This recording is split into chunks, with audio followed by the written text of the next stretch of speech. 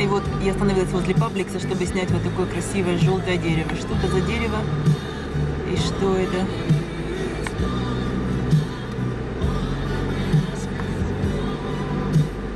Вот видно, как на улице жарко. Видно, как от моей машины струится, струятся такие потоки горячего воздуха.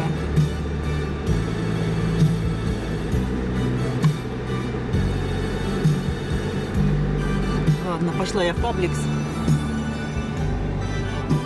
Пабликс.